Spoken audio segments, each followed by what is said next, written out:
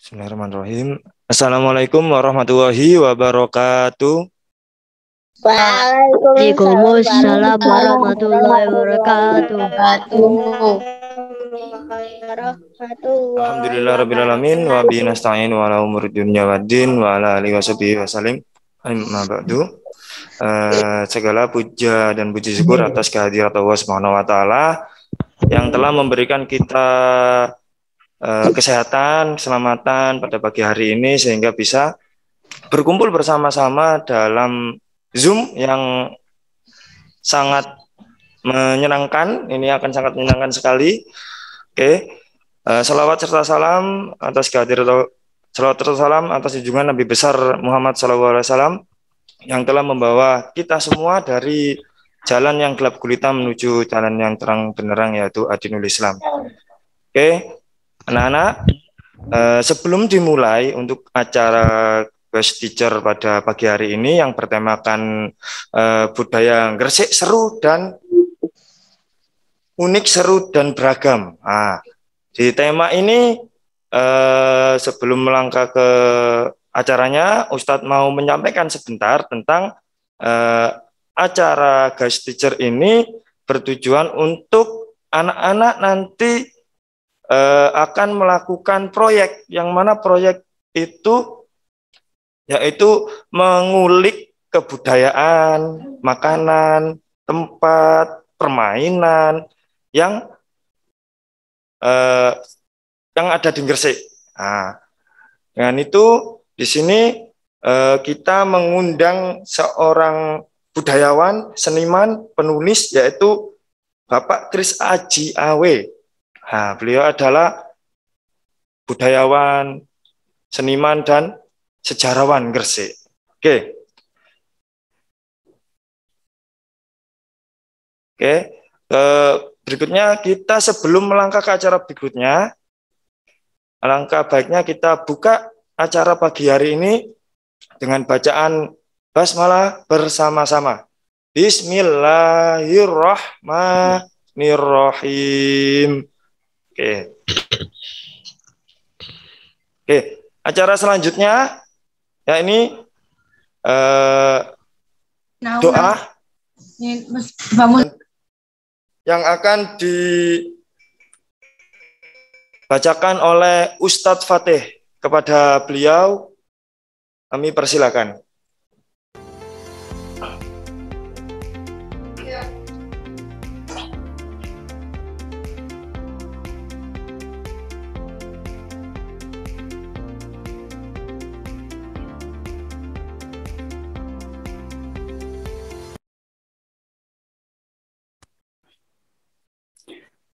Assalamualaikum warahmatullahi wabarakatuh.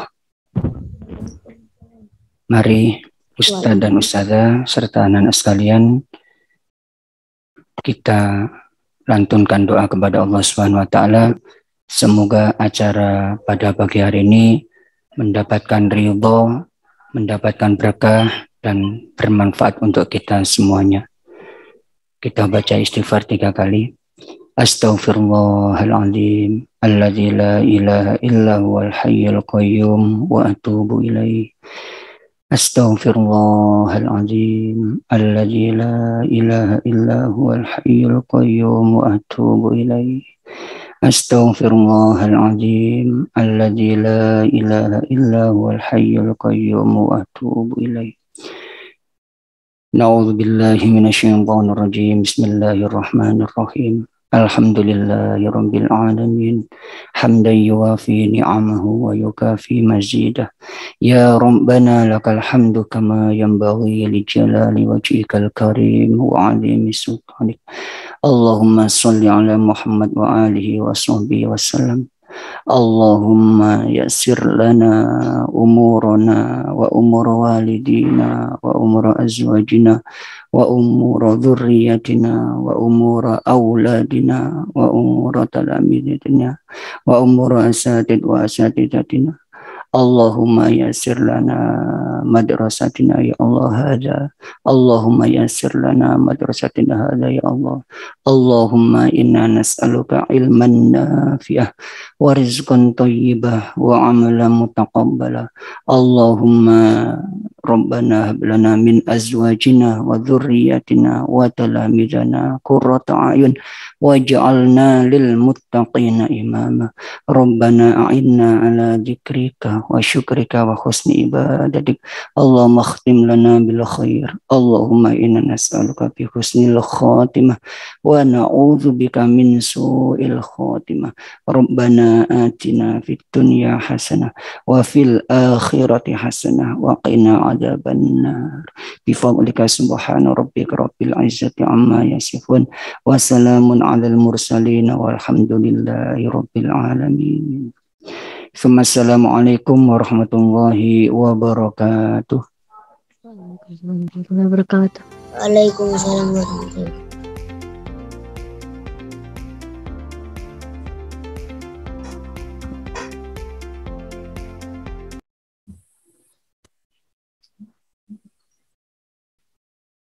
Terima kasih atas Ustadz Fatih. Acara selanjutnya yakni sambutan Sambutan yang pertama akan disampaikan oleh Kepala Sekolah SD Mugab yakni Ustadz Ari. Kepada beliau kami persilakan.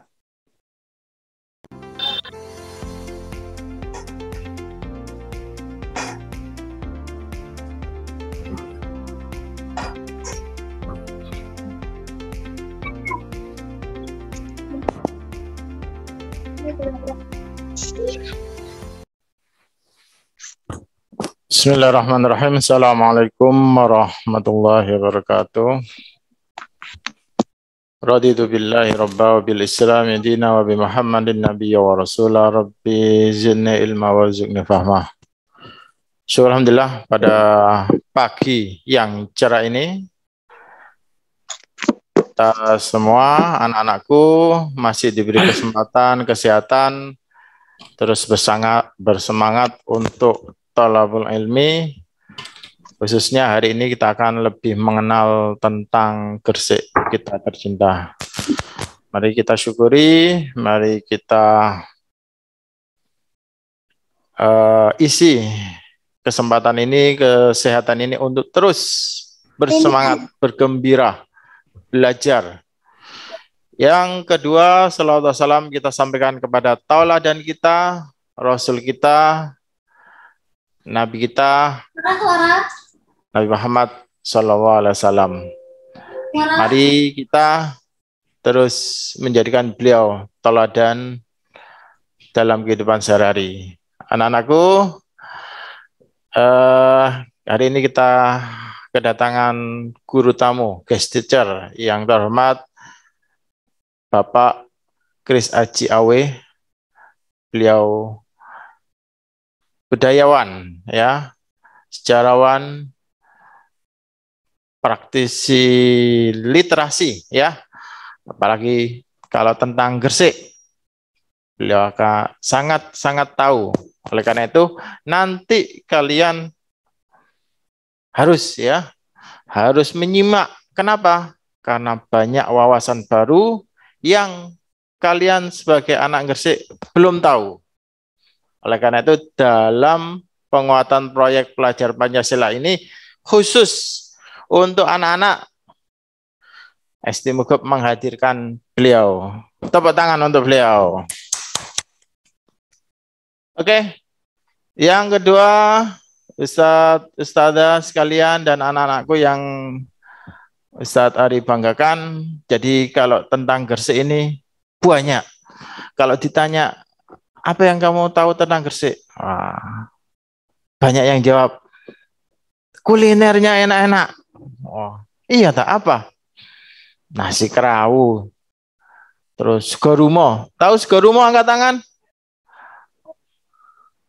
Lontong rumo. Nah, tahu. tahu. Alhamdulillah. Kalian sebagai generasi milenial uh, harus ngasih tahu pakai tanda seperti Ustadz Rizal itu ya. Kasih tanda gini ya. Oke. Siapa yang tahu kuda? Raise, raise hand, raise hand, raise your hand. Wah, banyak yang tahu. Siapa yang tahu bangunan Gajah Mungkur? Raise hand. Tahu Giri Kedaton? Giri Kedaton? Wah, tahu. Keren ya. Maka yang tahu hari ini akan semakin menambah ketahuan kita. Yang belum tahu, hari ini mulai tahu dan akan terus belajar mencari tahu. Kenapa? Karena di akhir proyek penguatan pelajar Pancasila, kalian harus membuat pop up ya. Ya. Script film ya yang menggambarkan tentang Gresik. Seperti apa? Jadi kalian nggak akan bisa sebelum kalian tahu tentang banyak hal tentang Gresik tercinta. Kalian boleh jadi insinyur, kalian boleh jadi youtuber, kalian boleh jadi astronot, boleh nanti sukses hidupnya di Jakarta, di Kalimantan, di Malaysia, di Amerika, di Kanada, atau di Ukraina, tapi kalian harus tahu bahwa kalian berasal dari Gersik. Siapa yang cinta Gersik? Resen. Resen, resen. Yang cinta Gersik? Resen. Pakai tanda di layarnya. Resen. Oke. Terus diingatkan kepada teman-temannya yang belum join, segera join. Eman, kalau kesempatan ini dilewatkan. Oke, Ustadz minta fokus bawa catatan ya. Wah, bawa catatan. Biar nanti karya kalian di project profil pelajar Pancasila itu eye-catching ya. Tidak hanya bagus, tapi itu benar-benar menggambarkan budaya tentang Gresik. Gresik atau Gresik ya? Gresik ya. Oke, terima kasih itu yang bisa Ustadz Ari sampaikan sebelum Ustadz akhiri mari kita tepuk semangat ya. Ustadz galeri Ustadz. Oke dibuka mic-nya Ustadz. Open. Satu kali tepuk semangat.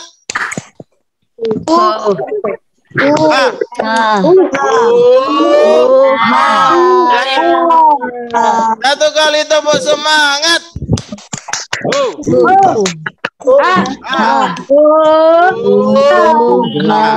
Terima kasih. Assalamualaikum warahmatullahi wabarakatuh. Waalaikumsalam warahmatullahi wabarakatuh.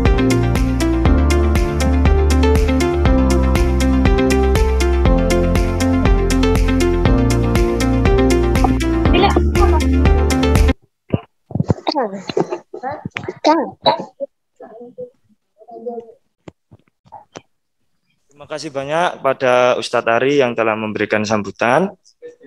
Oke, sebelum ke acara intinya, anak-anak, eh, kemarin waktu share info, di situ ada link YouTube.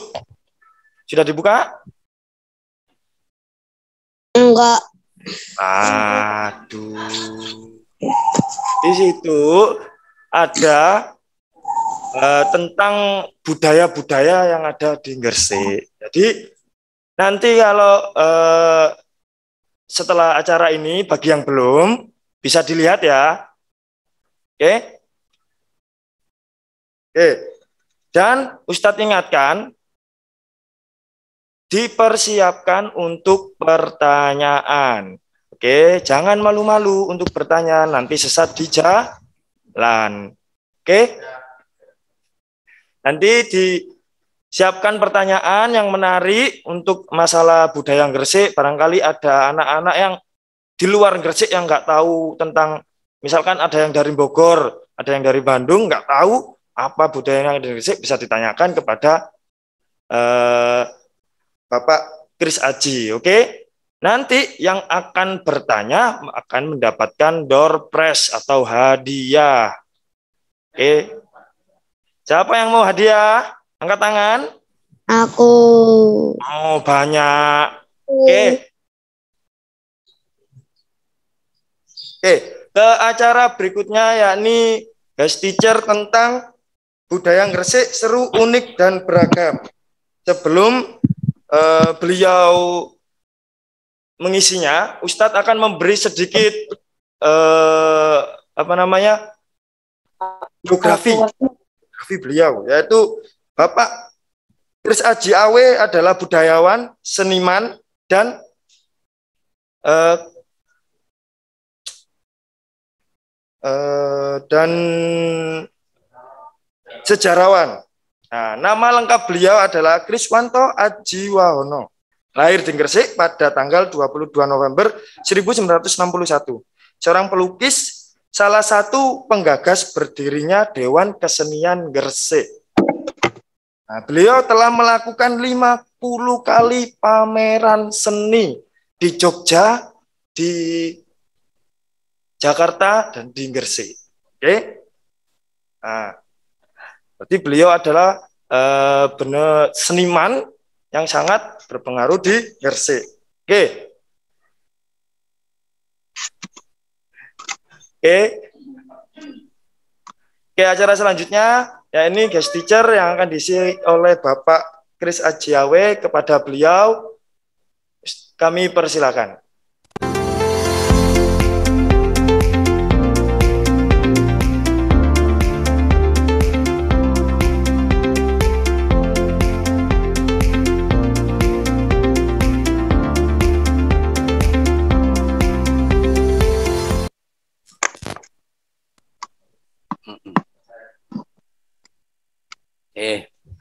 Saya buka dulu ya. Assalamualaikum warahmatullahi wabarakatuh. Waalaikumsalam warahmatullahi wabarakatuh. Alhamdulillah, la haula wala quwata. Ya, anak-anak sekalian, senang sekali bertemu dengan kalian pada pagi yang cerah ini.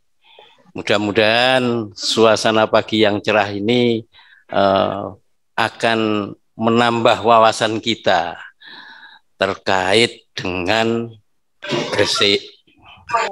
Gresik ini sebuah kota di sudut pesisir Pulau Jawa yang punya pelabuhan besar ya apalagi sekarang punya pelabuhan internasional.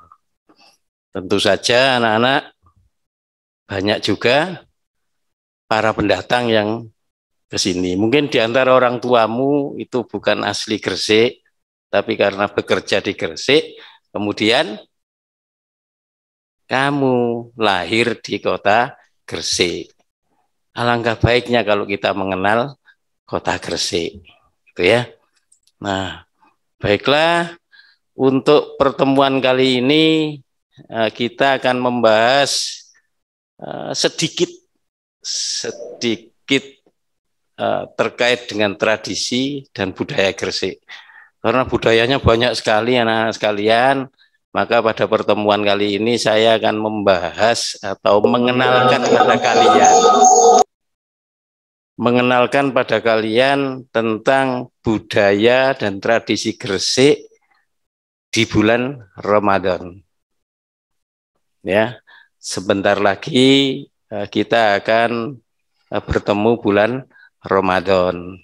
Tapi seperti apa tradisi orang Gresik dalam menyambut bulan Ramadan ya. Jadi saya tidak membahas banyak tentang macam-macam kuliner Gresik yang tadi disampaikan oleh Ustadz Ari, ya, kepala sekolah. Ya, ada apa tadi? Segorumo, ada nasi kerawu, ada apa lagi? Uda, ada ayas, ada jubung. Mudah-mudahan kalian mengenal ya istilah-istilah itu. Ya. Ada juga minuman yang disebut arang-arang kambang. Nah, jadi macam-macam. Nah, kuliner dan makanan Gresik ini ber, beragam. Uh, untuk kali ini uh, saya tidak uh, menceritakan tentang itu, tapi menceritakan yang lebih unik lagi, yaitu tradisi dan budaya Gresik menyambut bulan Ramadan. Ya, sebentar lagi kita akan masuk di bulan Ramadan. Seperti apa tradisi orang Gresik? Baiklah, barangkali diperlihatkan uh, PowerPoint-nya ya.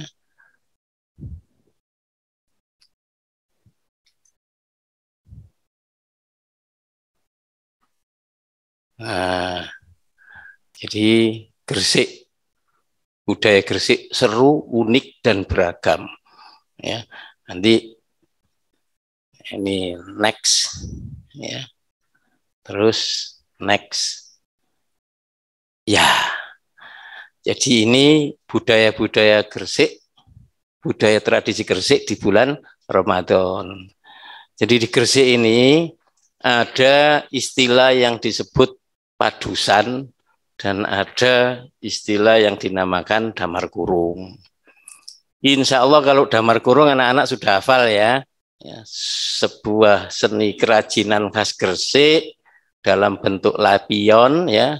Lampion ini di dindingnya ada gambar yang bercerita. Nah, barangkali kalian sudah pernah membuat damar kurung, menggambar damar kurung. Nah, tinggal nanti dikembangkan tidak hanya menggambar, tapi juga di eh, bikin sebuah lampion. Nah, terus padusan itu apa? Padusan itu kan dari kata adus. Kalau orang Gresik menyebut mandi itu adus, membersihkan diri. Nah, orang Gresik eh, sebelum Ramadan tiba itu biasanya terutama di kota ya, itu memiliki tradisi kebiasaan ziarah ke makam keluarga atau mendoakan keluarga yang sudah meninggal. Kebiasaan itu dilakukan bersama keluarga, termasuk anak-anak. Ya, jadi anak-anak diajak semua karena di sana ada yang menarik ketika kita uh, melakukan ziarah. Apa itu? Banyak orang menjual kerajinan damar kurung, ya, kerajinan damar kurung. Nah, damar kurung inilah yang uh, yang kalian tahu adalah sebuah lampion ya, dalam bentuk apa kubus ya semacam kubus kemudian dindingnya bergambar. Nah, kalau kita mengenal Damar Kurung, kita juga akan mengenal orang yang paling terkenal di dalam uh, membuat Damar Kurung. Siapa itu? Mbah Mas Mundari. Ya. Masa hidupnya, usianya Mbah Mas Mundari itu sampai 100 tahun. Ya sampai 100 tahun ya.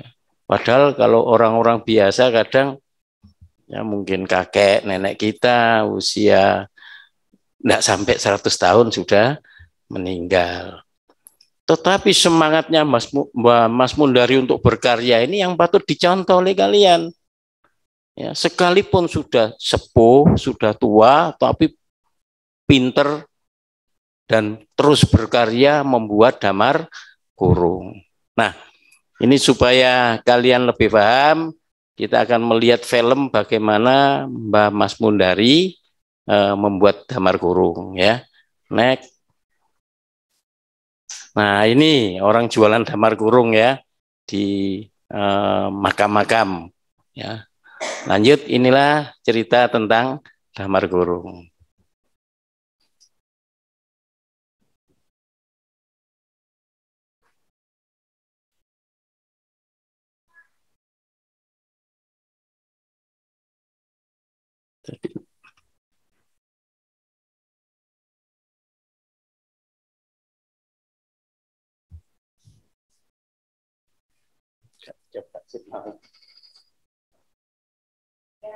Yang pakai flash disk saja. Coba yang di flash disk.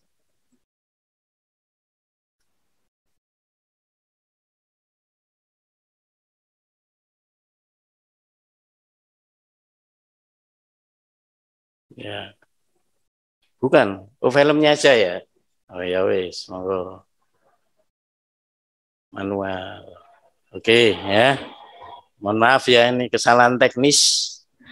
Jadi tidak bisa langsung dilihat.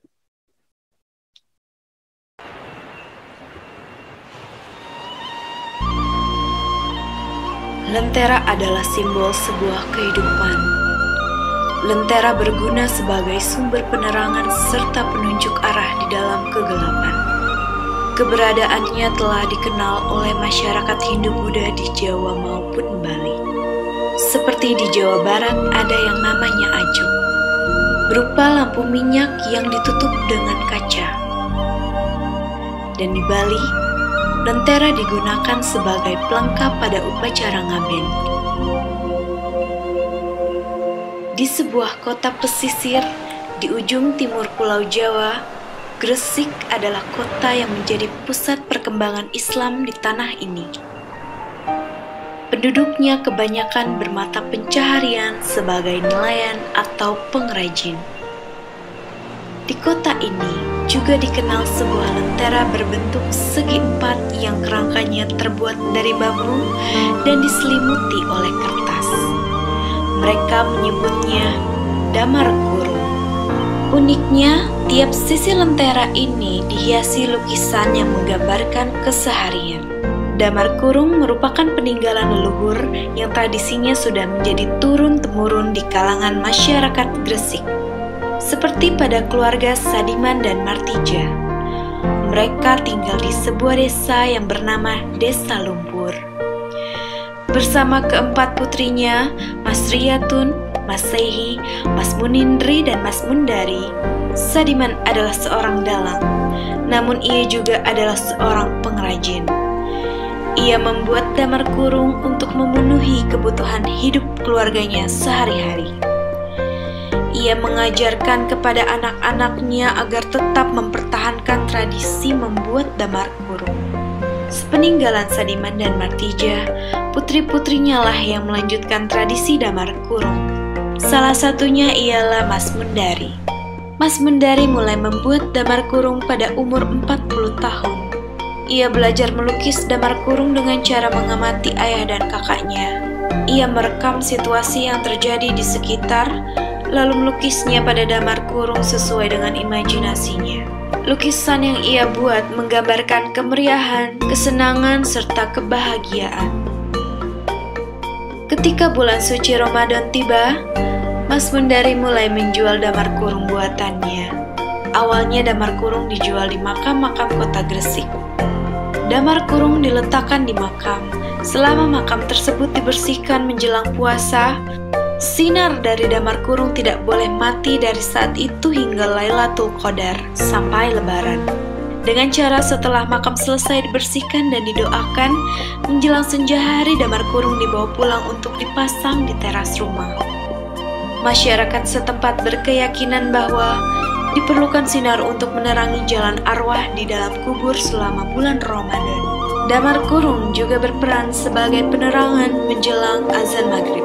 Ketika matahari mulai terbenam dan langit menjadi gelap, anak-anak kemudian menjadikan damar kurung sebagai sarana bermain sambil menanti datangnya waktu sholat tarawih. Gambar-gambar yang ada pada damar kurung saat itu berkisah tentang kegiatan keagamaan. Hal ini bermaksud untuk mengajarkan nilai-nilai agama Islam kepada anak-anak. Selain itu, Mas Mundari juga menggambarkan imajinasinya pada sisi damar kurung. Ia sering menggambarkan sosok Putri Duyung yang datang dari pantai, dan wanita bersayap yang ia sebut Nyonya Muluk. Lukisan damar kurung Mas Mundari dianggap unik. Selain gayanya, lukisan ini juga mencerminkan budaya masyarakat Gresik sehari-hari. Lukisannya merupakan media yang menyimpan banyak sejarah budaya serta tradisi masyarakat Gresik. Ini membuat tradisi tersebut akan dapat disampaikan ke generasi berikutnya. Di usia yang sudah lanjut, Mas Mundari sebagai pelukis yang original dikenal oleh masyarakat Gresik karena damar kurung dan lukisan yang ada di sisinya. Lukisannya memiliki nilai yang sangat berharga dan dijadikan sebagai karya seni lukis pada kanvas dan diberi bingkai. Seperti pesan ayahnya kepada Mas Mundari, ia menurunkan tradisi damar kurung kepada anak semata wayangnya, Rohaya. Ia berpesan agar damar kurung tetap dilanjutkan walau ia sudah tidak ada. Hal ini ia lakukan agar budaya dan tradisi masyarakat Gresik tetap berakar dari generasi ke generasi.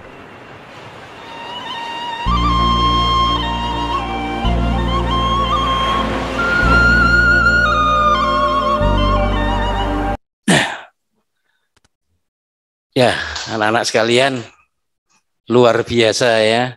Uh, begitulah cerita kisah lahirnya Damar Kurung dan uh, kita bisa melihatnya di setiap awal bulan Ramadan.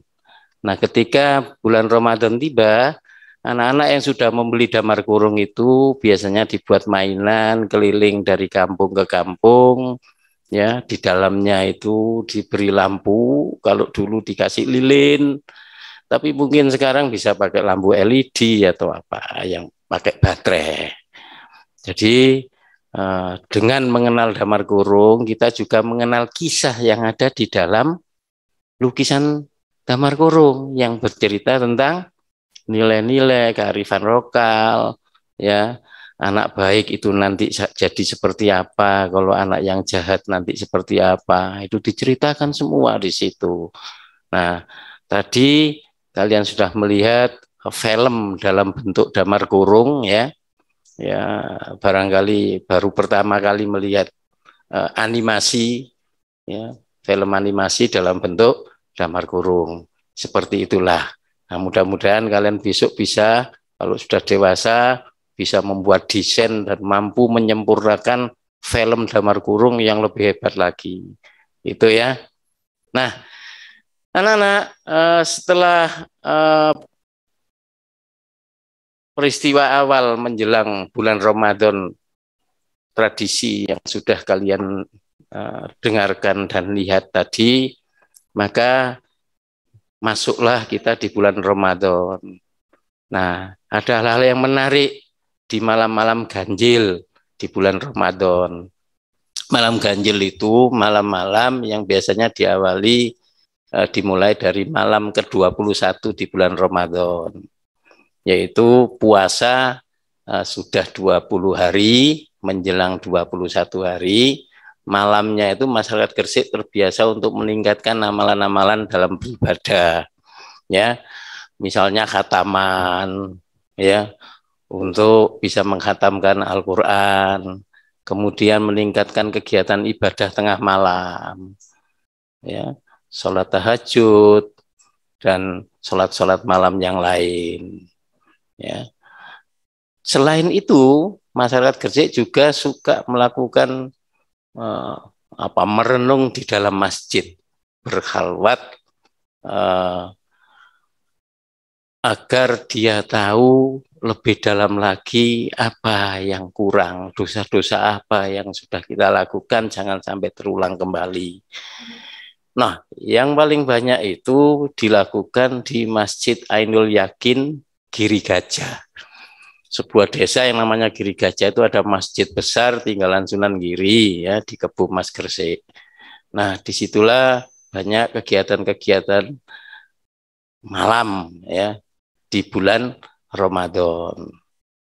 Nah, kegiatan ibadah di bulan Ramadan ini eh, yang tadi dimulai sejak malam 21 itu berlanjut sampai malam ganjil yang terakhir yaitu malam 29. Namun di eh, di kiri itu puncak keramaian justru terjadi di malam ke-25. Orang Gresik menyebut malam selawe. Ya selawe itu 25 jadi duduk selawe nanti bosonya jangan kali doso gangsal nggih. Bukan kali doso gangsal tapi selawe. Nah, ya nek patlikur nah, selawe. Jadi gak terus kali doso sekawan ya. Ini nanti biar anu, ada guru bahasa daerah ya ada ya nanti tanya lagi ya Jangan sampai keliru menyebut selawe kali doso gangsal. ya. Jadi malam selawe itu acara semacam festival ya, mulai dari perempatan ke Bumas yang kalau sekarang ini kamu lihat ada tugu yang lancip-lancip itu di, mulai dari situ sampai di atas bukit atau gunung di kiri itu banyak orang jualan kuliner, jualan makanan macam-macam, jualan mainan anak-anak macam-macam, jualan pakaian, ya. Bahkan kebutuhan apa pun tuh yang tidak ada di hari-hari biasa itu dijual di malam selawe. Nah, masyarakat Gresik dan luar kota banyak yang berziarah ke makam Sunan Giri sambil uh, melihat dan mencari barang-barang yang disukai atau yang paling menarik untuk dibawa pulang sebagai oleh-oleh. Ya, next.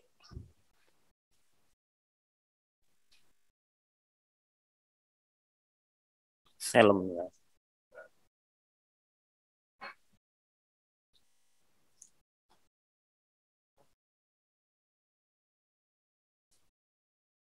Yang bukan, bukan. Satunya, satunya dulu. Ayo ke wisata religi Sunan Giri dulu. Setelah itu baru malam Selawe. Ya, ini anak-anak seperti inilah kegiatan ya. Saya akan melihat eh, memperlihatkan film model Damar Kurung lagi ya, animasi Damar Kurung. Jadi orang Gresik harus bangga dengan Damar Kurung karena itu bikin video, bikin film juga animasi dalam bentuk Damar Kurung.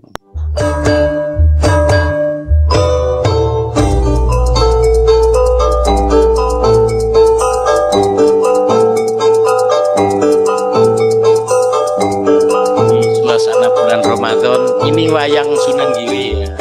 Wayang yang menggambarkan Sunan Giri.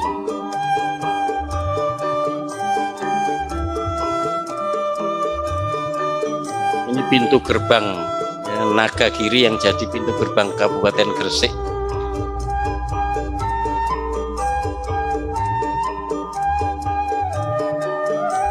Ini Sunan Giri ngajari santri-santrinya mengaji di Giri Kedaton.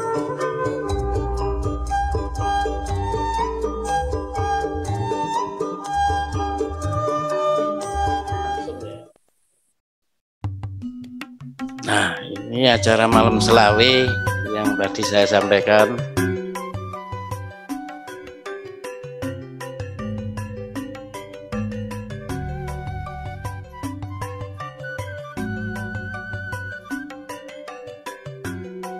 Suasana-suasana malam Selawe dalam bentuk damar kurung.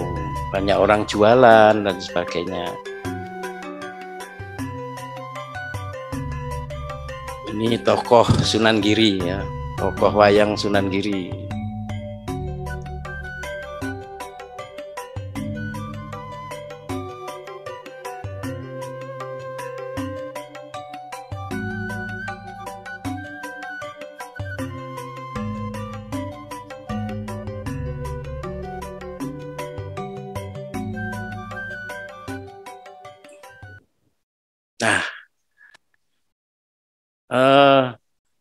Tadi kita cerita tentang bagaimana awal bulan Ramadan, akhirnya damar kurung, kemudian ada tradisi padusan, kemudian malam 21, puncaknya malam 25 ada malam selawe. Nah, sebelum malam selawe itu ya di luar kota Gresik ya di Kecamatan Manyar itu ada desa yang namanya Desa Ngumeno ya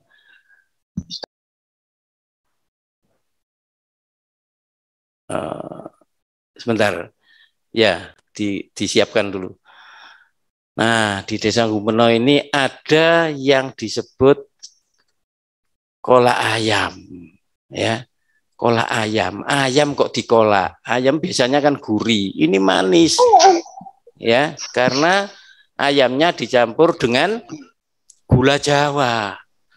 Ya. Ada yang pernah merasakan atau ngincipi. Nah, kalau pengen ngincipi nanti malam 23 di Masjid Gumeno. Ya. Nah, nah, supaya jelas kita lihat filmnya lagi ya tentang kolak ayam. Cerita pertama kita datang dari kuliner. Jika biasanya kolak berbahan dasar pisang, kolak yang satu ini unik ya. Ini justru berbahan dasar yang jauh berbeda. Ini adalah kolak ayam. Ya, kolak ayam ini adalah uh, sebuah tradisi sanggring khas Kabupaten Gresik. Sedikitnya ada 5.000 bungkus kolak ayam yang dimasak setiap malam ke-23 di bulan Ramadan.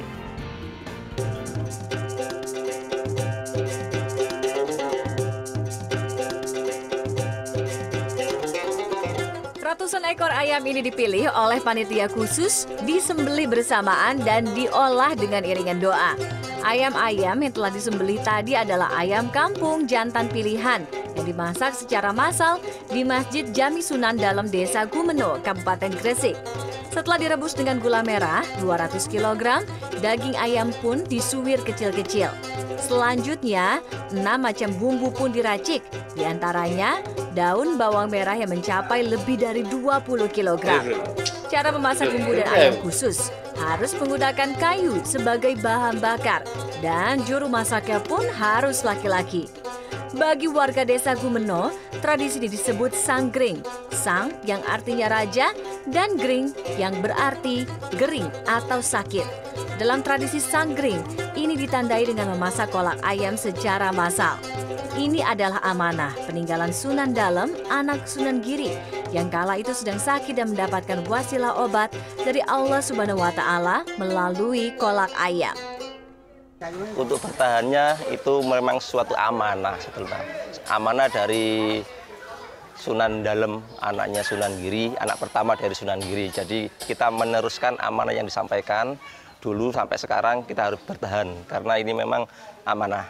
Secara implisit bahwasanya dari awalnya memang seperti itu. Jadi kita tidak berani untuk merubah dari awal bahwasanya tidak ada uh, perempuan atau wanita yang masuk ke dalam tempat masak terutama. Kalau mungkin di sekitar masjid oke okay lah. Tapi kalau masuk ke dapur sampai sekarang ah, dari awal sampai sekarang tidak boleh. Berdasarkan buku syiar Peradaban Islam Tanah Jawa di Gresik pada tahun 946 Hijriah, Sunan Dalem yang disebut juga Sunan Giri II mensyiarkan Islam di desa Gumeno dan membangun sebuah masjid yang kini disebut Masjid Jami Sunan Dalem. Namun sayang di tengah perjalanan Sunan Dalem jatuh sakit. Di tengah-tengah beliau menyiarkan agama Islam, beliau dicoba oleh Allah dengan sakit kan gitu.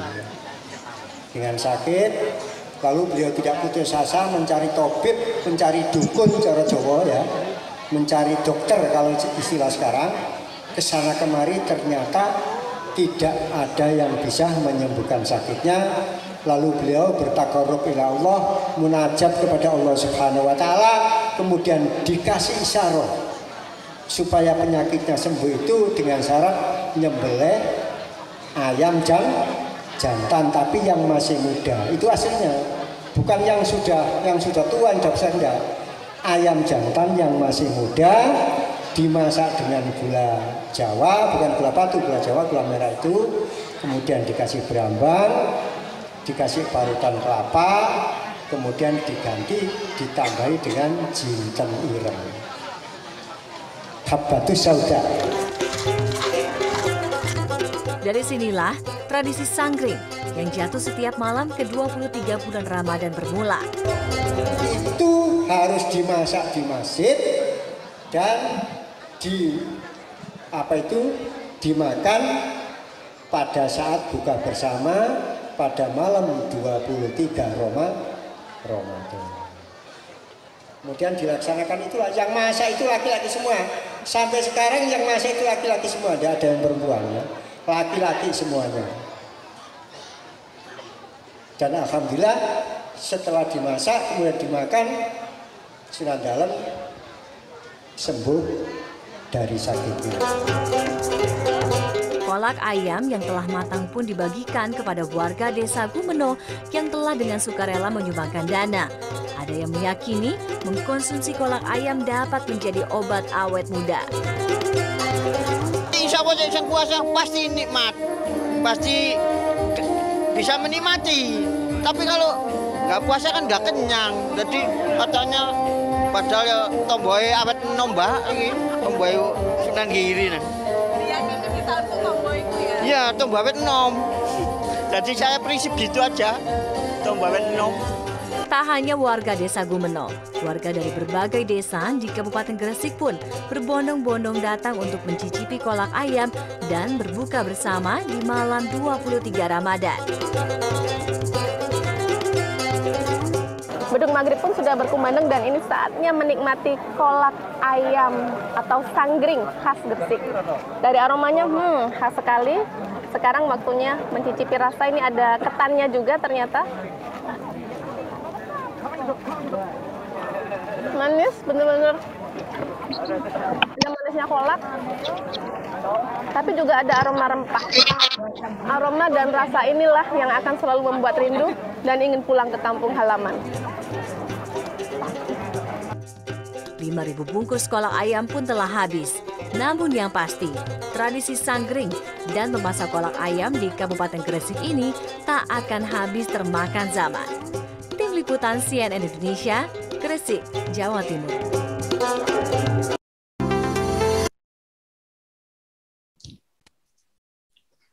Ya, eh, anak-anak sekalian, ya lucu ya, ada ayam dijadikan kolak. Itu nanti yang anu kurus-kurus bisa langsung gemuk itu nanti. Nah, kolak ayam itu ketika zamannya Sunan Dalem atau Sunan Giri kedua, ketika beliau sakit, itu mencari obat dan obat itu adalah kolak ayam. Nah, apa sih kolak ayam itu? Orang sana menyebut sangring, ya, sangring. Sangring itu dari kata sang sunan gering, ya. Sang sunan sedang gering, gering itu sakit, ya, sakit. Nah, karena sakit itu ternyata eh, sembuh gara-gara makan kolak ayam. Nah, ayam apa yang digunakan untuk kolak? Itu harus ayam jago. Nah, ayam jagonya harus ayam jago yang muda. Kemudian diberi gula Jawa, bumbu-bumbu ya, racian bumbu-bumbu rempah, di antaranya adalah jinten. Orang sekarang mengenal jinten itu juga digunakan sebagai obat ya. Habatus sauda. Ya jadi tidak sembarangan ya. Kolak ini kolak tidak sembarangan. Artinya orang dulu tuh sudah pinter sudah ngerti bagaimana meracik dan membuat obat tetapi eh, obat ini justru menyenangkan. Karena semua orang senang makan kolak ayam kalau kepengen ngincipi silakan besok kalau sudah puasa malam 23 menjelang maghrib silakan ke Masjid Gumeno. Nanti akan diberi kolak ayam gratis di sana untuk berbuka puasa. Itu ya, anak sekalian. Itulah kekayaan Gresik ya. Salah satunya kolak ayam yang mungkin satu-satunya di dunia ya. Nah, Oke, kita lanjut. Terus bagaimana aktivitas bulan Ramadan menjelang berakhir? Kita mengenal istilah pasar Bandeng. Ya. Pasar Bandeng. Gambar gambarnya Nah, pasar Bandeng dan perpekan orang orang Gresik asli dulu menyebut pasar Bandeng itu perpekan. Ya. Ada yang menyebut perpekan Bandeng, bukan pasar Bandeng, ya. Nah, perpekan itu suatu kegiatan jual beli di pasar yang dilakukan secara khusus menjelang Idul Fitri. guna melengkapi kebutuhan dalam menyambut Idul Fitri. Jadi anak-anak sekalian kan butuh baju baru. Orang tua ngajak kamu sekalian jalan-jalan di Pasar Bandeng untuk mencari pakaian baru, sepatu baru, ya, beli makanan, ya, makanan apa toples itu yang ditaruh di toples, di kaleng dan sebagainya untuk tamu kita di bulan eh, di hari Idul Fitri.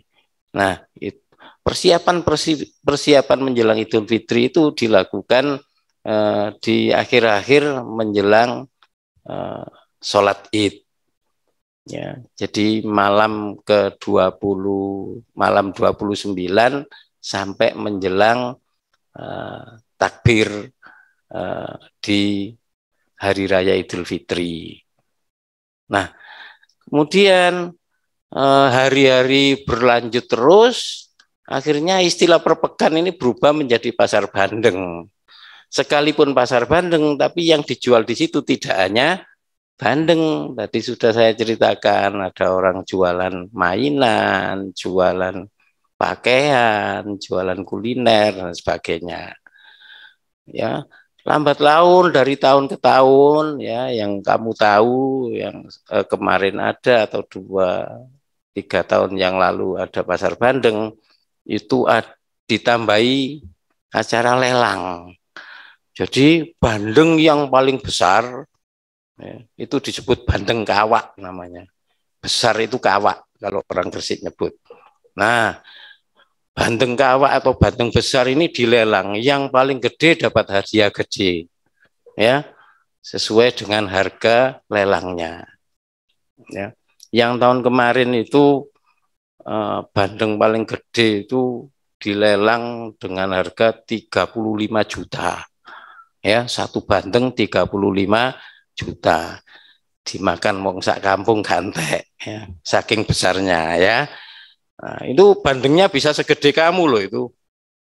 Ya, bisa segede kamu. Nah, pasar bandeng itu sejak kapan diadakan? Ya, nek.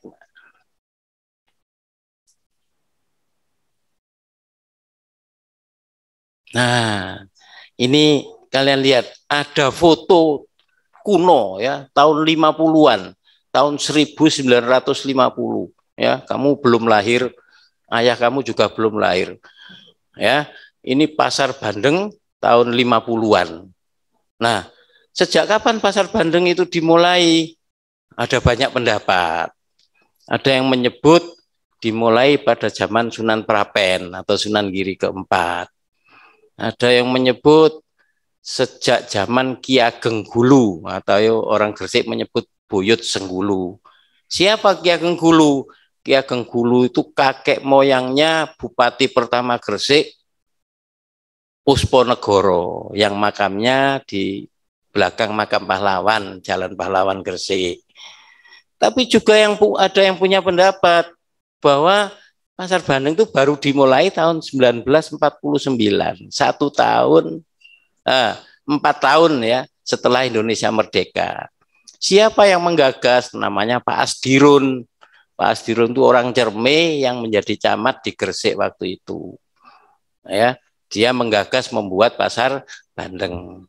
Kemudian Pak Asdirun ini eh, ditugaskan di Sidoarjo. Maka ketika dia menjadi Wedono, Wedono itu nama jabatan di atasnya camat ya. Itu membuat pasar bandeng di Sidoarjo supaya tidak bersamaan dengan Gresik yang Sidoarjo ditempatkan pada saat Maulid Nabi. Sayang itu tidak berlanjut, tidak sehebat di Gresik karena Gresik asli lahir begitu saja kalau di Sidoarjo itu atas inisiatif Pak Asdirun. Ya. Oke, lah apa yang dijual tadi next? Nah, ini contoh pasar Bandeng di Gresik. Ramai sekali ya bandengnya gede-gede, ada orang jual boneka, jual pakaian, jual kuliner. Kalau malam ya setelah berbuka puasa kalian ke sini itu berjalan aja susah ya karena berdesak-desakan ya. hati-hati bisa kecepit ya di antara pengunjung. Nah, jadi itulah pasar bandeng khas Gresik yang terkenal uh, dan selalu ditunggu oleh kita semua orang Gresik. Nah, anak-anak ya. Begitulah uh, seni tradisi dan budaya Gresik khusus di bulan Ramadan ya. Nah, apa di luar bulan Ramadan ada banyak sekali. Tidak cukup waktunya kalau saya sampaikan semua di sini sekarang. Satu saat nanti kita ketemu lagi cerita misalnya ada tradisi pencak macan. Macan perang sama monyet. Ya, menang mana? Nah, nanti suatu saat kita akan cerita tentang pencak macan. Monyet pasti. Ya, mudah-mudahan mudah-mudahan yang lain juga akan tahu. Misalnya di Sedayu itu juga ada tradisi yang namanya tari tayung raci. Itu ada pecut, pecut itu cambuk sakti ya miliknya uh, seorang bupati di Sedayu yang mampu mengalahkan Belanda ya ketika dia pegang pecut itu berada di atas kudanya nah kalau kudanya itu ekornya bergerak itu peluru itu tidak akan nyampe ke tubuh kuda-kuda uh, tadi. Wah, keren ya. Nah, jadi uh, ya ada yang mau dengerin cerita-cerita lain tentang tradisi Gresik besok? Ya, ada? Ada. Ya, ya. Angkat tangannya. Mau. Iya, suatu saat kita akan cerita tentang pencak macan, cerita hmm. tentang uh, tayung raci, atau uh, ada arah-arahan ogogo misalnya di Menganti, ya di Sembayat itu ada festival bambu atau bambu festival. Jadi membuat kerajinan gede-gede diberi lampu, yang bahannya dari bambu semua, tapi keren-keren. Ya. Nah, jadi banyak yang kita bisa melihat kisah-kisah tradisi atau budaya khas Gresik ya. Mudah-mudahan nanti kalian semua yang penting tadi eh, tadi saya beri tulisan tadi Pak eh, terakhir tadi. Nah, ya, ini namanya apa? Permainan apa? Engklek. Egrang. Ya. Ada yang pernah mencoba? Pernah, Pak. Pernah. Pernah. Pernah. Ada yang pernah mencoba? Ada yang pernah jatuh? Aku enggak pernah. Hah? Kevin pernah jatuh, Kevin? Pernah. Pernah. Nah, tapi masih berani naik lagi? Masih berani naik lagi? Trauma, trauma. Iya harus berani ya jatuh enggak apa-apa ya. Nanti lama-lama kita akan pinter memainkan egrang. Dan suatu saat nanti sekolah juga akan uh, diupayakan menyediakan egrang untuk permainan tradisional ya.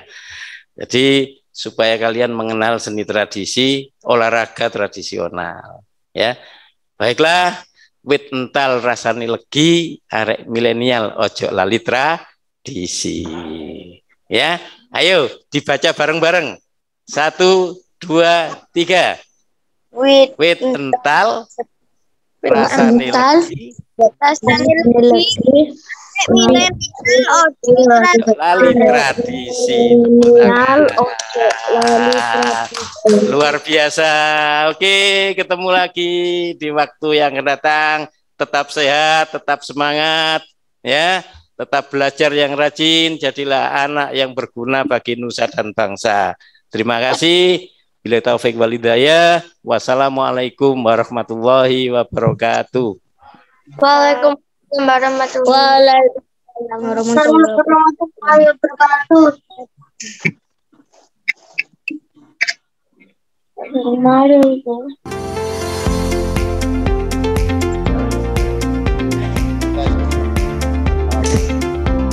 Oke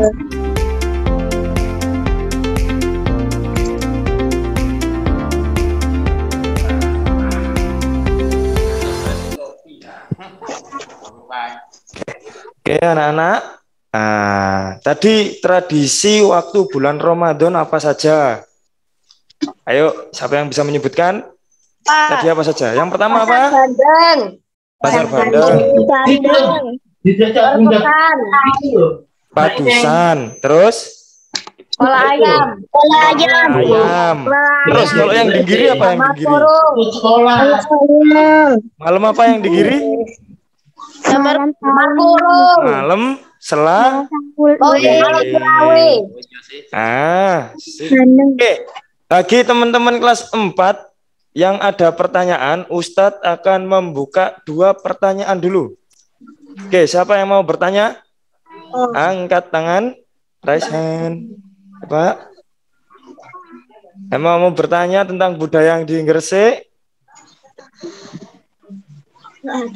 Yang tanya ceritanya us- asal usulnya gimana, apa gimana?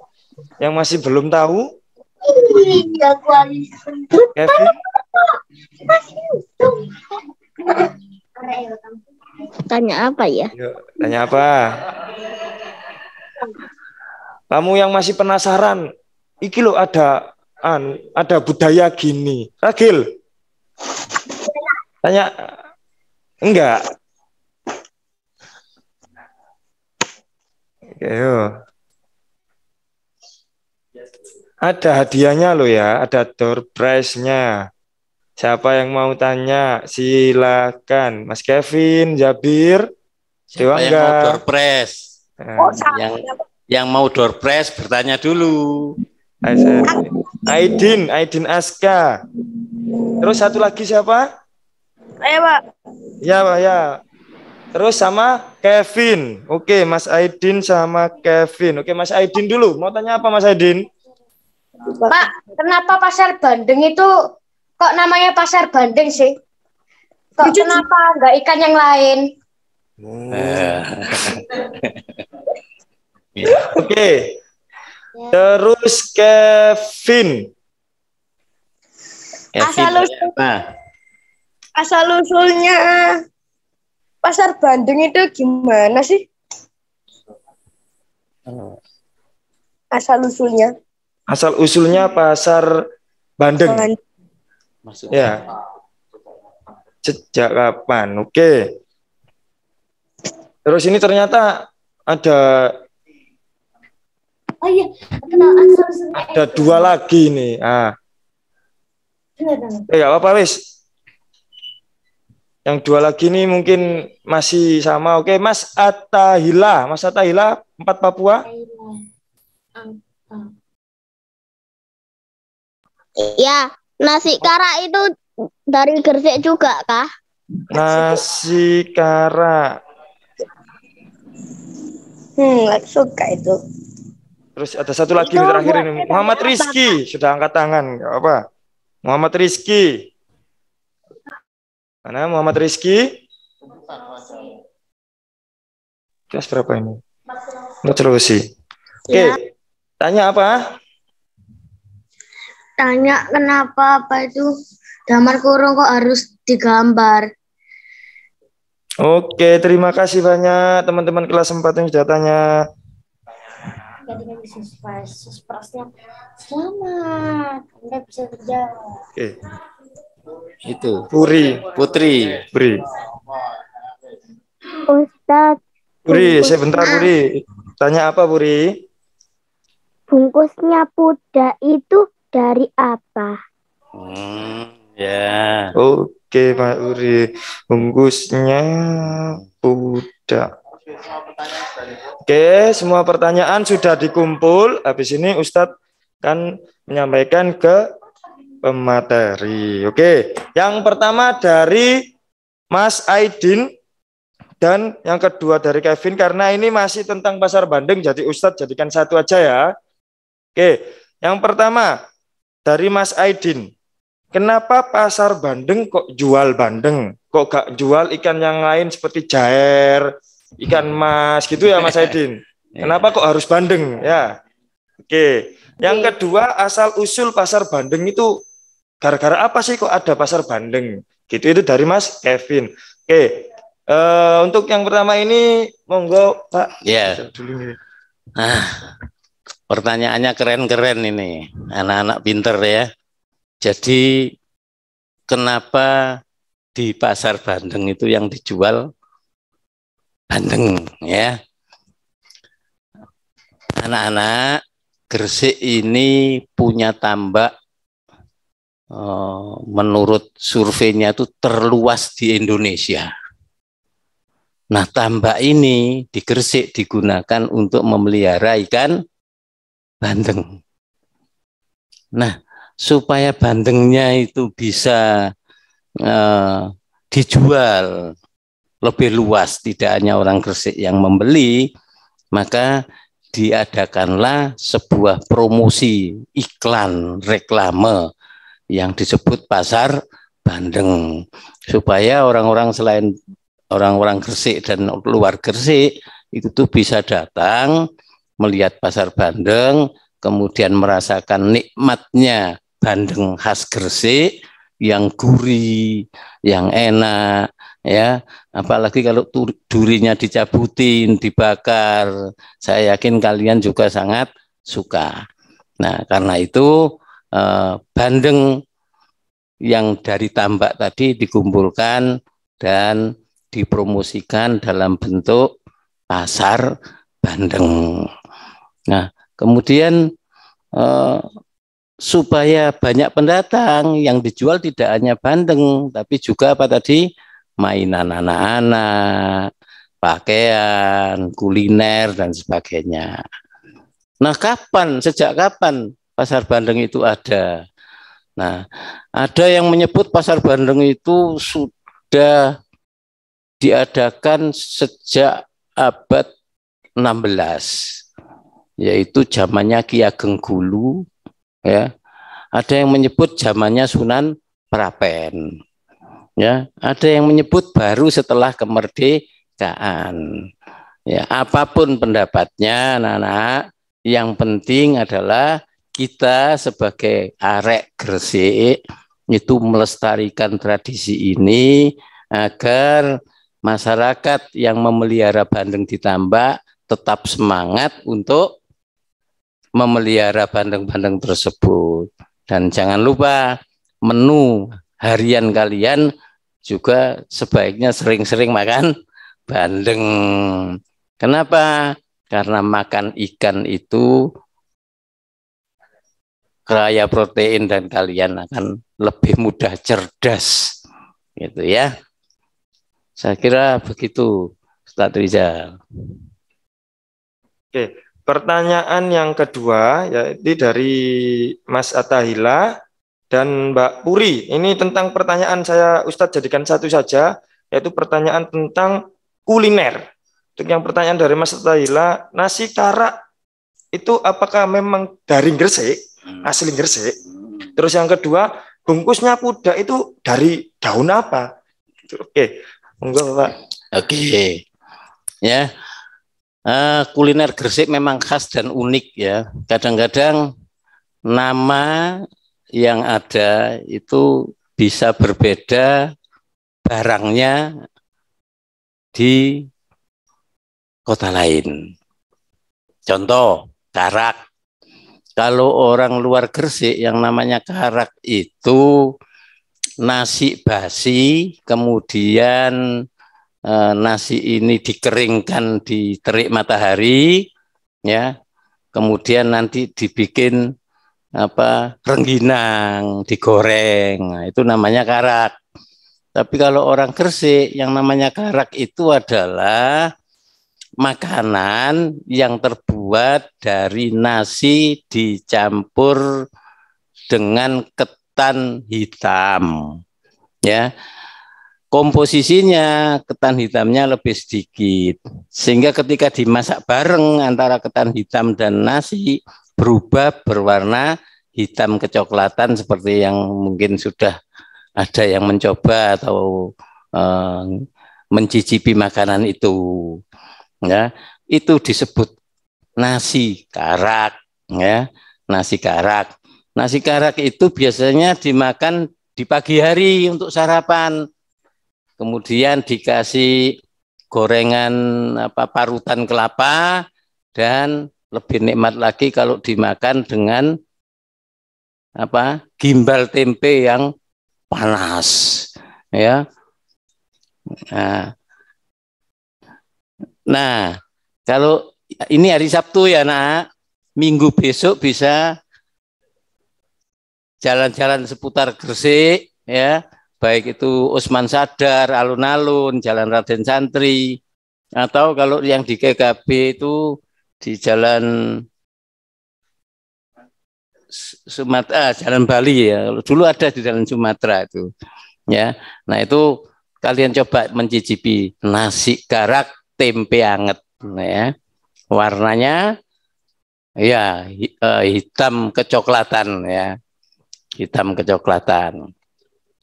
Ya. Kemudian yang kedua tadi apa? Pudak. Pudak itu dibungkus pakai apa? Ya. Bungkus pudak itu namanya OP ya. O P E. Nah, apa OP itu?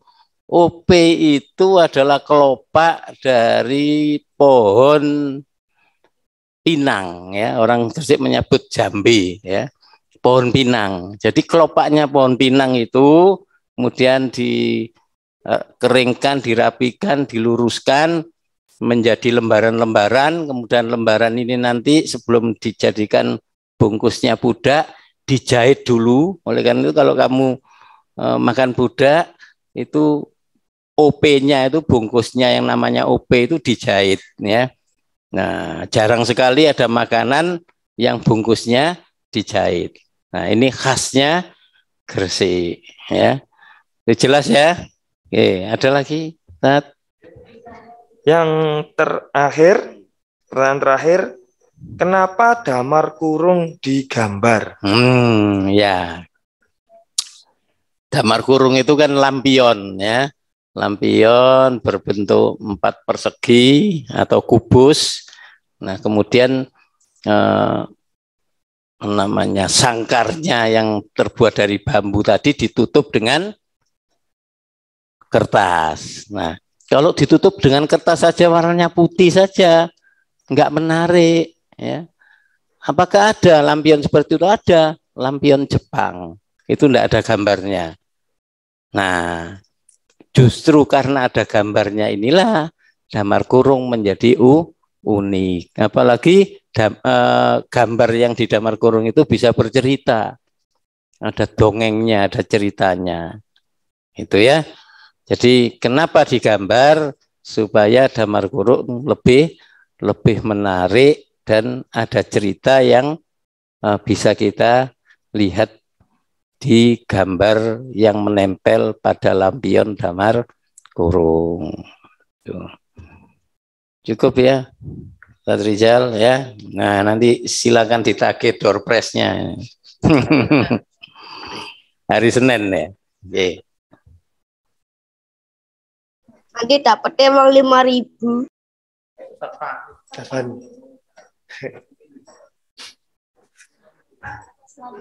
Oke, Oke, terima kasih banyak kepada anak-anak yang sudah bertanya tadi, Mas Kevin, Mas Ataila, Mbak Puri, sama Mas Aidin, Mas Rizky juga. Oke, gimana? Sudah tahu semuanya? Sudah jelas? Sudah? Oke. Oke, ini yang terakhir ya ini closing statement yang akan disampaikan oleh pelatih ahli Kemendikbud Sekolah Penggerak yakni Ustadzah Dr. Nur Fauzia MPD. Kepada beliau kami persilakan. Oke, baik. Terima kasih Ustadz. Assalamualaikum warahmatullahi wabarakatuh. Waalaikumsalam warahmatullahi wabarakatuh. Iya, yang saya hormati eh, Pak Tris selaku narasumber pada pagi hari ini luar biasa menarik sekali apa yang disampaikan. Yang saya hormati Bapak Kepala Sekolah, Bapak Ibu Guru, serta yang kami banggakan anak-anak semuanya. Sehat selalu ya. Ya, ini di rumah semua ini kayak sepertinya ya. Iya, alhamdulillah luar biasa Pak Kris. Jadi tidak hanya anak-anak ini yang belajar. Jadi saya juga tadi menyimak meskipun agak telat ya sambil masak tadi. Jadi banyak hal juga yang yang baru bagi saya. Meskipun saya dari Gresik Pak Kris, tetapi eh, tadi yang disampaikan Pak Kris itu benar-benar juga eh, saya belajar dari situ gitu ya yang terkait dengan budaya Gresik. Mungkin secara detail kami tidak tidak tahu sampai sedetail itu gitu ya. Jadi banyak hal tadi. Jadi mulai dari filosofi damar kurung itu luar biasa sekali tadi disampaikan. Kemudian eh, tadi di budaya pola ayam Pak Kris ya. dan dapat kiriman Pak Kris kol ayam itu, tapi untuk ngincipi kok rasanya gimana gitu karena karena agam gitu, gitu ya. Tapi eh, kalau Pak Kris tadi menyampaikan secara detail, akhirnya saya tertarik ya, apalagi filosofinya ya waktu itu sejarahnya begitu, itu sebagai obat begitu ya. Jadi ya. Sunan Dalem ya tadi ya yang Sunan akhirnya Dalem. ya akhirnya sembuh dengan mengkonsumsi itu. Terus Pak Kris menyampaikan bahwa bahan-bahannya itu luar biasa. Jadi kalau ayam itu harus ayam jago. Nah ini saya juga baru tahu ini Pak Kris. Ayam dan- jago yang masih muda. Nah, itu juga luar biasa itu. Kemudian ada bumbu jinten ya tadi ya, jinten. Batu sauda ya. Nah, itu kan memang Kemudian rempah-rempah, gula Jawa, gula Jawa. Jadi kalau dilihat dari bahannya memang menyehatkan obat. obat ya. Nah, nanti kalau ada kola ayam lagi, nanti akan saya coba untuk Siap, siap. Nah, ini baru tahu loh. Jadi taunya ya a- kola ayam itu ya ayam dikolak, nggak ngerti bumbu-bumbunya seperti apa itu nggak ngerti sehingga tertarik. Nah anak-anak juga pasti seperti itu ya. Kemudian tadi itu berikutnya adalah pasar Bandeng. Nah pasar Bandeng ini ternyata menurut Pak Kers itu sejarahnya mulai sudah lama ya tahun 49. Nah ini saya juga baru tahu Pak Kris. Nah tahun 49 yang menggagas itu adalah Bupati eh, Ah, Camat Gresik, Camat Pak. Asdirun, Oh, orang Manyar. Nah, Pak orang Cerme. orang Cerme ya. Nah, Pak Kris dapat dari mana foto jadul itu ya tahun 55 itu ya? ya, Ya. ya saya kebetulan punya rumah data. Eh, rumah ini eh, mengumpulkan eh, file-file arsip-arsip buku-buku tempo dulu dan Oh. sudah digunakan eh, hampir puluhan buku itu dipinjam UPI Universitas Pendidikan Indonesia Bandung untuk menggali eh, dasar-dasar pendidikan karakter di Indonesia. Oh, luar biasa ya. Memang fokus mempelajari budaya Gresik ya. Iya. Ya. Nah, itu juga saya sendiri pribadi baru tahu begitu ya. Dan anak-anak tadi pertanyaannya luar biasa sangat menggelitik. Kenapa pasar Bandeng yang dijual ikan bandeng bukan Bandeng, kok kamu jair? itu artinya anak-anak itu sudah sangat tertarik gitu ya. Iya. Jadi mungkin mereka belum pernah lihat bisa jadi ya meskipun orang Gresik. Tetapi dengan yang disampaikan Pak Kris tadi akhirnya memantik rasa penasaran gitu ya, berpikir kritisnya anak-anak. Kenapa Iya. yang dijual kok bandeng padahal ikan Iya. itu kan banyak. Macem-macem. Tadi itu macam-macam. Kenapa enggak Kok enggak ikan cupang gitu. bisa jadi seperti itu itu luar biasa. Oke, dan kemudian yang terakhir Pak Kris, pantunnya luar biasa tadi. Apa Ya. itu? Wet ental, Wit legi. mental, rasane legi. Arek milenial, ojo lali tradisi. Nah, bisa jadi anak-anak itu nggak tahu loh ental itu apa. Ya, Ya, ya siwalan ya. Hmm. iya luar biasa. Jadi saya mengapresiasi Pak Kris yang yang sampaikan hari ini sangat bermanfaat untuk anak-anak dan juga untuk saya pribadi menyimak dari pagi tadi Pak Kris luar biasa. Terima kasih. Iya. Jadi ini merupakan salah satu proyek Pak Kris, proyek yang dilakukan oleh SD Mugep untuk menguatkan profil pelajar Pancasila. Jadi kalau saya lihat panduan yang sudah dibuat, yang sudah direncanakan oleh SD Mugep ini, oleh tim koordinator proyek itu ada dua Pak Kris yang ingin Iya. ditumbuhkan, dua karakter. Yang pertama adalah kebinekaan global, yang kedua adalah gotong royong. Nah, itu sudah dipenuhi dari apa yang Pak Kris sampaikan tadi. Jadi Iya. bukti kebinekaan global itu bagaimana anak-anak mengenal dan menghargai budaya atau tradisi lokal begitu. Lokal. Ya, kemudian yang kedua adalah gotong royong yang dipilih teman-teman Mugep ini adalah untuk meningkatkan karakter kemampuan komunikasi. Nah, tadi di akhir itu anak-anak pertanyaannya luar biasa itu kan. Kenapa damar kurung harus digambar? Gambar. Kan menggelitik juga. Terus yang ini tadi eh, bungkusnya puda itu dari mana? Nah, itu juga menumbuhkan rasa keinginan tahu ya, rasa ingin tahu Betul. sih gitu. Nah, itu luar biasa. Nah, sesekali anak-anak nanti bisa field trip langsung ya Pak Kris ya, barangkali nanti Iya. Ustadz Ari bisa mengajak anak-anak bagaimana sih melihat secara langsung tidak hanya di dunia maya ini saja. Jadi misalkan pada saat ada pameran damar kurung itu Pak Kris, kalau nggak salah di di ya, Jinggiri pernah, di eh, WEP pernah, oh sering Bu, sering. Iya, nah itu mungkin anak-anak bisa melihat langsung bagaimana pembuatan dan eh, bagaimana damar kurung itu dipajang begitu ya, yang luar Iya. biasa. Ada juga teman-teman seniman yang membuka workshop. Kalau Hmm. ada sekolah berkenan, nanti latihan menggambar damar kurung bareng sampai memasangnya pada kerangka damar kurung ada. Oh, iya. Jadi sebenarnya sarananya sudah cukup, tinggal sekolah-sekolah mau apa enggak? Ya, betul. Nah, ini salah satu sekolah di Gresik ini SD Mugep ini eh, luar biasa iya. ya untuk anak-anak ya bagaimana mengenalkan budaya Gresik supaya tetap lestari. Iya, SD teladan ini Bu. SD-nya Oke. keren tapi masih memperhatikan tradisi. Ah, betul. Kayak kepala sekolahnya. Betul sekali. Jadi SD-nya sudah keren, berada di kota, tetapi tetap tidak melupakan budaya Tradisi. lokal. Iya, betul. luar biasa. Terima kasih banyak Pak Kris dan Eh, Bu. untuk koordinator proyek. eh, saya kurang tahu apakah anak-anak ini diberi penugasan. Jadi kalau pada pertemuan berikutnya lebih baik anak-anak ini diberi penugasan apakah mencatat poin-poin penting yang disampaikan oleh narasumber begitu ataukah dia memberikan tanggapan ya diberi beberapa pertanyaan pemantik begitu terus anak-anak menjawab sesuai dengan eh, responnya masing-masing begitu. Nah, itu luar biasa nanti. Jadi tidak hanya mendengar dan melihat begitu. Itu pesan saya terakhir untuk koordinator proyek ya untuk pertemuan eh, berikut-berikutnya begitu.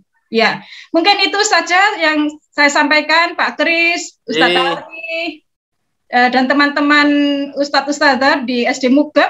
Mudah-mudahan proyeknya berjalan lan- dengan lancar Amin, amin. benar-benar dapat menumbuhkan karakter anak terutama untuk profil belajar Pancasila di kurikulum Merdeka. Saya akhiri, Assalamualaikum warahmatullahi wabarakatuh. Waalaikumsalam warahmatullahi wabarakatuh.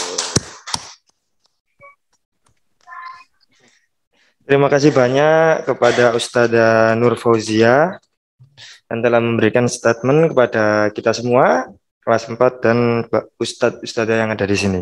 Oke, Eh, acara berikutnya yakni penutup. Nah, mari kita akhiri eh, acara pada pagi hari ini dengan bacaan hamdalah dan doa kafaratul majlis.